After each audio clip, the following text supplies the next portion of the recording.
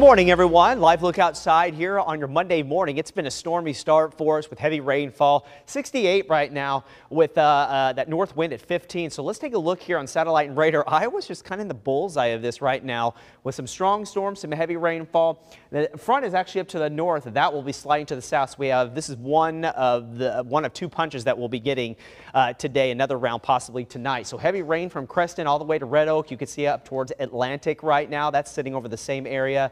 Traveling on Interstate 80 out of the metro, it's going to be a wet start. Some heavier storms around Washington up toward Iowa City. Still can't rule out some gusty winds with some of these storms and potentially some hail here for the next couple of hours. Been hit very hard from Audubon up to Carroll this morning, even out towards Guthrie Center, picking up anywhere from three to five inches of rainfall. Now, these are Doppler estimates right now. You can see the color code up here indicating what certain areas have, have received uh, in the last 24 hours. So again, been hit very hard out to the west. The metro area coming in about uh, seven tenths since midnight, but other areas just the west reporting anywhere from one to two inches of rain. Now, we do have uh, a flash flood warning in effect for the areas shaded in red. This will go until 730 just due to the fact that the heavy rainfall has just been falling over the same area this morning. Now, as we get into the afternoon, we'll start to see the intensity and the coverage of the showers and storms uh, decrease. So that's good news. So now everyone's looking at that one o'clock time frame of the eclipse. Now, models are still indicating that the clouds will try to break apart during the midday time frame.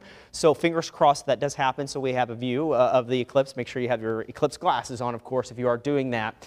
The dry weather is going to be short-lived. We have the cold front that will arrive tonight, and we're going to see around round of storms coming through again statewide.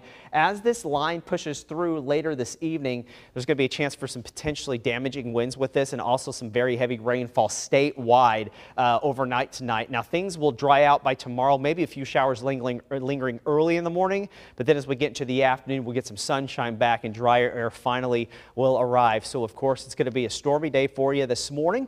And again, tonight, 88 for the temperature today, and then we cool down the next couple of days, 79 on Thursday. That's a nice day for you. We stay dry Friday and Saturday with the next chance of rain arriving by Sunday. Brea?